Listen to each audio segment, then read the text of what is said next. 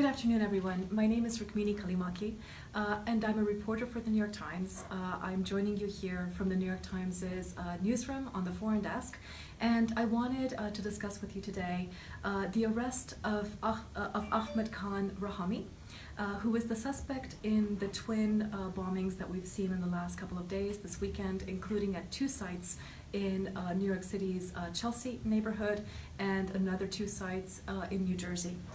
Uh, this young man, a 28 year old immigrant from Afghanistan, uh, was arrested yesterday in the Linden, New Jersey uh, area. And on him, officials found a notebook. Uh, it actually had a bullet hole uh, in the notebook and it was stained with, with blood, indicating just how closely uh, he was holding it. And in that notebook, officials found concrete evidence of his radicalization. Among the phrases that he uses in the notebook is killing the kuffar. Kuffar is a religious term uh, that refers to unbelievers, so people that are not Muslim according to this very narrow uh, jihadi definition of who a Muslim is. And in addition to that phrase, um, uh, they found references to Anwar al-Awlaki, Awlaki is a towering figure in uh, the jihadisphere. He was a chief propagandist for Al Qaeda, but he's also a figure that very much bridges Al Qaeda and ISIS. Uh, all of the ISIS fighters that I've spoken to and that I've studied um, uh, at some point passed through the lectures of Awlaki in their radicalization process. And uh, in addition to that, uh, there's references to the Fort Hood shooter. Uh, this shooting was uh, was carried out by a man that was that was radicalized in America by Al Qaeda uh, through through uh, the internet, etc., and who carried out that attack uh, in in an inspired uh, way. and it's considered one of Al Qaeda's um, successes in inspiring a so-called lone wolf attacker. So I'm here with you now, and I'd love to take your questions. And I'll be looking at the questions here on my on my notepad.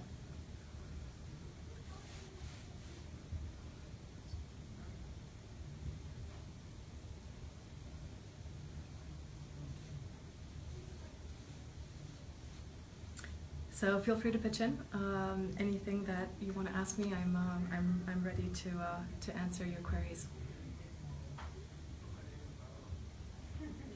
Um, so for other, um, you know, folks um, who are looking to be radicalized, how would that be similar to the path uh, um, that Mr. Khan took? So at this point, there hasn't been a claim of responsibility for um, for the bombings that took place in New York City or in New Jersey. So we don't yet know if this man is, um, is, is a follower of the Islamic State or of Al Qaeda or of neither.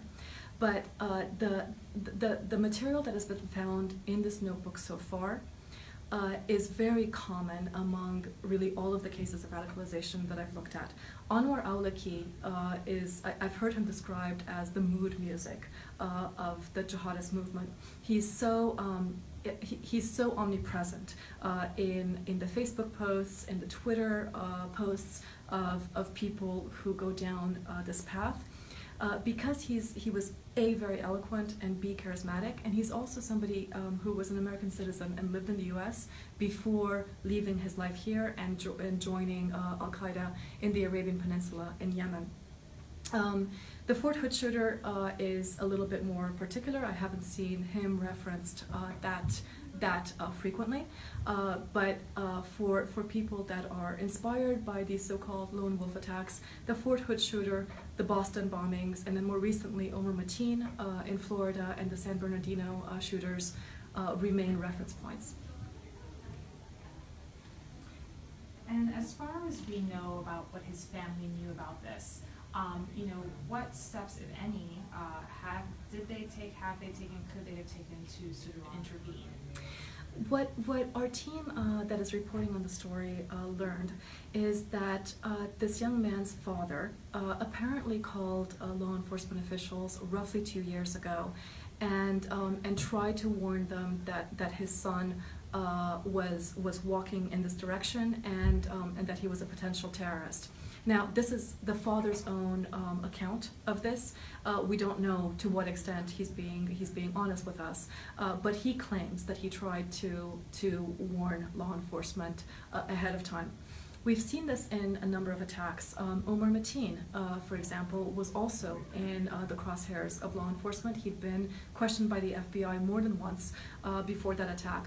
But what is, what is particular about uh, Islamic extremism and the path to radicalization that these people take is that in the early uh, periods of radicalization, sometimes the only evidence uh, that law enforcement officials have is essentially a thought, uh, an idea, uh, the idea that um, that uh, that non-Muslims are disbelievers, the idea that democracy is somehow not in keeping with with the plan of God. And it's very difficult, um, given the laws in our country and given the, the freedoms that, that our country provides, to, to lock somebody up just for something that they're saying or something that they're that they're thinking if they haven't taken uh, actual steps uh, to plot an attack. And as far as uh, had uh, was the FBI able to intervene, we don't know yet. Um, you know, are there de-radicalization programs in place here uh, that you know could have worked? what are, what are the abilities of governments to stop this sort of thing? You know, it's funny because in, in light of, of what a problem this is, it's, it's to me still surprising that in America there isn't a real um, de-radicalization program, at least not one that's available by, by civilians. Uh, the FBI has been working uh, on a de-radicalization program, but this is something that, uh, that, that has worked on uh, people that are already arrested and that are already uh, in jail. Um, uh, the New York Times a couple of months ago covered the case of, of a father in California who became concerned about his, his young son. Uh, who was beginning to show signs of radicalization and, and possible affinity uh, for the Islamic State. And he himself contacted the FBI. He went so far as to come to Washington uh, and attended a panel uh, on, um, on extremism and radicalization and went up to the academics at the end of this conference saying, please help me, I don't know what to do. Uh, and the end result is uh, his child was arrested. Uh, he's been placed in solitary confinement um, in a penitentiary uh, uh, so, uh, on the West Coast. And from the family's perspective, um, that's a pretty dire outcome. You know, they, they, very much regret having gone to law enforcement because if, if your child ends up just being locked away, that's not necessarily a positive outcome. in contrast to that, um, other countries uh, specifically Germany, um, uh, have created uh, programs that, that are, uh, I would say, more promising. Uh, there's a woman in Germany um, who um, has an expertise in the Middle East, and specifically, um, she, she's an Arabic speaker. And she has, of her own accord, begun working with the families of, of ISIS members. And she has created essentially a protocol um, uh, where she teaches family members how to speak to their sons and daughters once they've reached Syria, how to speak to them in a non judgmental way, and how to keep the channel of communication open because even when these people join the Islamic State, they often maintain contact with the people that are dearest to them. Uh, their mothers, um, sometimes siblings, uh, sometimes close friends. And what tends to happen is that once they get to the Islamic State and they're in Raqqa or, or whatnot, their, their family is, of course, um, outraged and angry. And instead, and, and they voice this when they're speaking uh, to their children, and, and as a result, the, communica- the, the communication breaks down. And this German uh, woman, her, her, the basis of her um, approach is that if, if she teaches the family members to speak in a non-judgmental way and just keep the calls coming.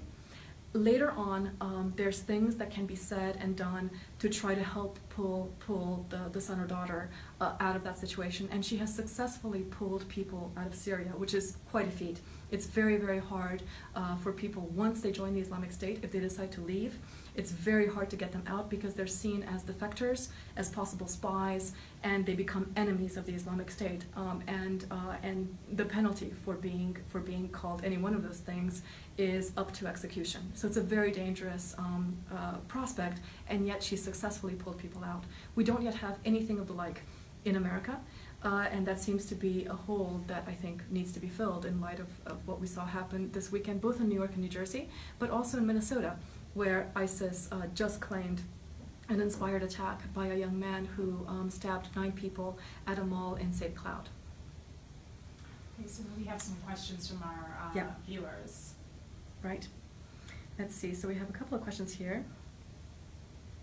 Um, Jack Allen Freed uh, is asking, shouldn't de-radicalization come from within the Muslim the Muslim community?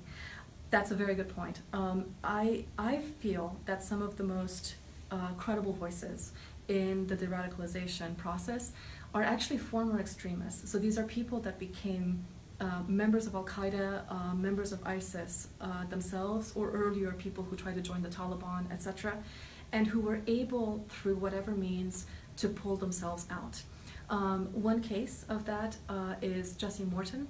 Uh, he was um, he, he ran a website called Revolution Muslim uh, for several years in the mid in the mid 2000s, and that website became a honeypot for uh, for people um, interested in joining Al Qaeda, as well as several of Al Qaeda's franchises like Shabab and Al Qaeda in the Arabian Peninsula. Uh, and numerous plots, um, most of them foiled, uh, both in the United States and in the United Kingdom, ended up being linked to Jesse Morton's uh, website. Jesse was arrested, I believe, in 2011. Uh, and um, for um, for lack of a better phrase, he basically had just a come to Jesus moment in um, in jail, where uh, where he he began to question the ideology, and he realized uh, that he had gone awry, and he made a full transformation. The FBI um, believes uh, that that um, he's sincere in uh, in his recanting. And uh, just a couple of weeks ago, he was hired at George Washington University's program on extremism, where he is now going to essentially be an analyst studying the very ideology that he used to propagate. So obviously, that's that's a somewhat controversial uh, program. Um, parents at George Washington University, I think, were, were up in arms about the idea of a former Al Qaeda recruiter uh, being not just on campus but a member of the faculty. Uh, but um, I think that somebody like him uh, is is so well versed in this ideology that he can help us understand both how people fall into this um, into this mind trap and how people can be pulled out. Uh, he's the very first case of an American citizen to be hired in, the, in this kind of public role in America. In Canada, they already have somebody called Mubin Sheikh. Uh, he was radicalized years ago, uh, went to join the Taliban, pulled himself out. And in England, there's an entire think tank made up of these former extremists. Um, so all of these people, to answer um, your question, all of these people are either uh, actual Muslims or were converts to Islam and remain Muslims, and they are speaking from inside the faith, which I, which I think is, of course, probably the most the most um, authentic way that one can one can speak about this problem. Let's see. Uh, Craig is asking, why do you believe that these people are targeting terrorism in America? Um, I'm, I'm, assuming that you mean, why is it that they're targeting America? So both Al Qaeda and, and the Islamic State have made clear uh, that, th- that the head of the snake, so the greatest enemy for them, is the United States. They believe that the United States is at war with Islam uh, in various theaters, including in Iraq, in Syria, in Libya, uh, in Nigeria. And so their premier target is the United States. Interestingly, since the rise of ISIS, um, uh, Europe has come under much more strain and has had much more frequent attacks than the US. So the, the, the attacks that we've seen uh, in the US have been much smaller and much more infrequent uh, than in Europe. And um, analysts believe that this is simply a question of resources. It's much easier for uh, foreign fighters who went to Syria to reach Europe than it is for them to reach America.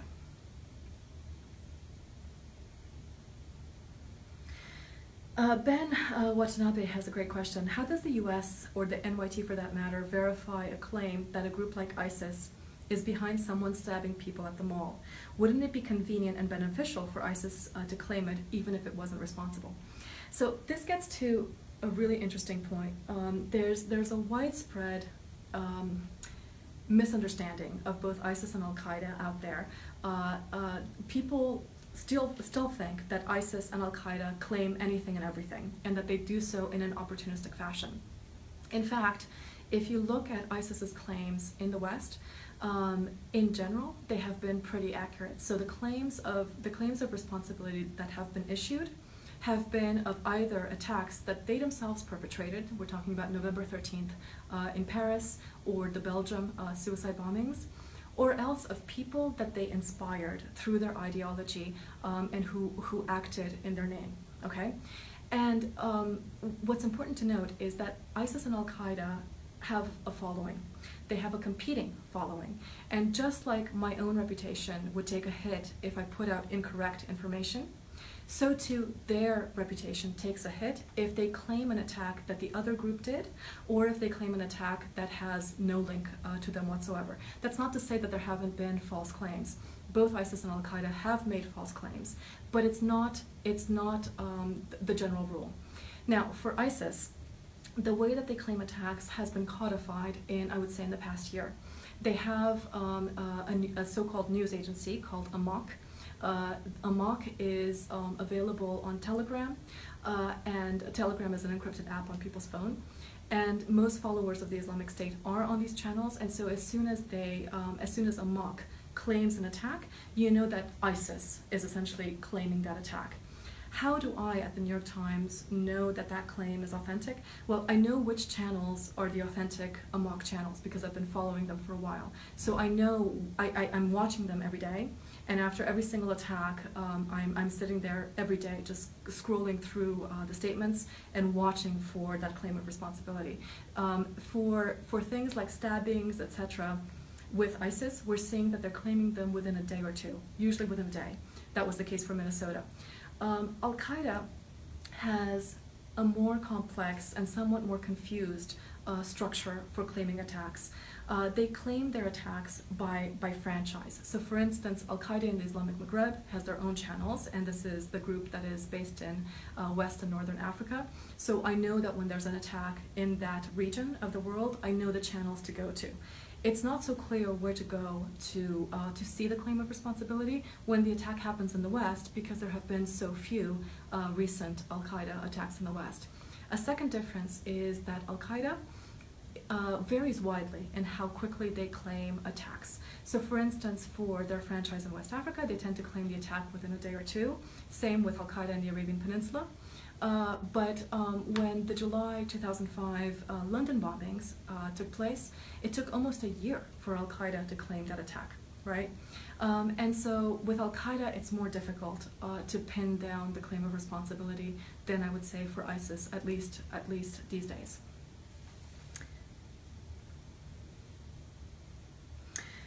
Kaleem Sheikh um, is asking whether the path to radicalization begins from illegal sanctions and illegal wars, and where else.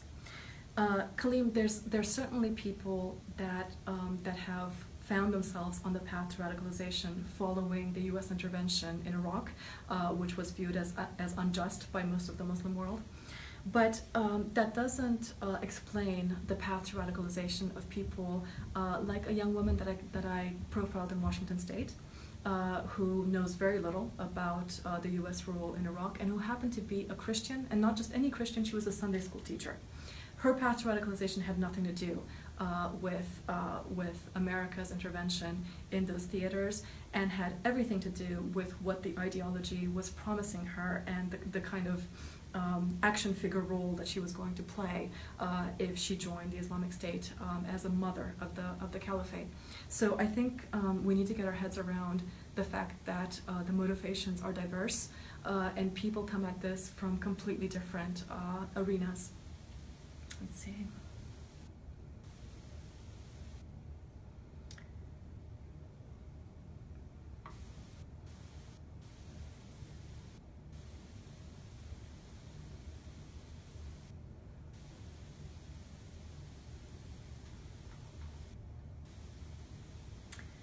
So I'm looking for some more questions from you guys. Um, well, you, actually, we have a very interesting one from yeah. uh, Reka Rocha, uh, who wants to know, you know, what do we in the West mean by radicalization exactly? You know, uh, what do other the other parts of the world mean by radicalization?